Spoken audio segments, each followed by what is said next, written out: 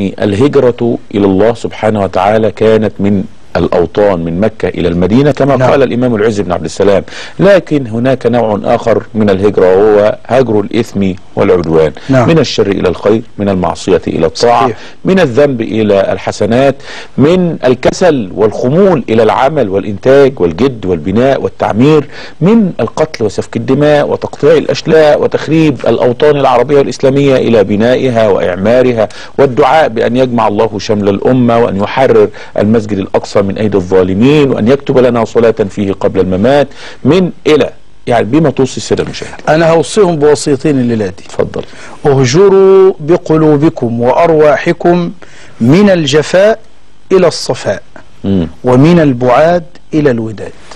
لتنالوا وصال خير العباد. مم. اللهم أدم علينا الوداد آمين. وبحب النبي بلغنا المراد. اللهم آمين. آه كان الصالحين يا مولانا لهم حال مع ربنا. ولهم حال مع حضرة النبي صلى الله عليه وسلم. اللي بيدعي إنه بيحب سيدنا النبي وما بيصليش عليه ده مدعي محبة.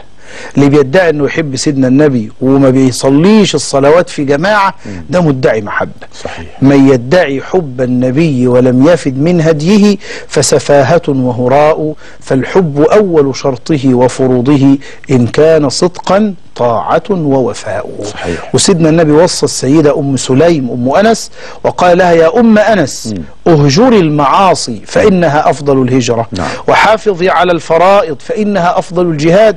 وأكثري من ذكر الله فإنك لا تأتين الله بشيء أحب إليه من كثرة ذكره. الله. هي دي الوصية الله. اللي أوصي نفسي بها وأوصي حضرتك وأوصي الس- السادة المشاهدين. هجور المعاصي؟ آه، فإنها أفضل الهجرة.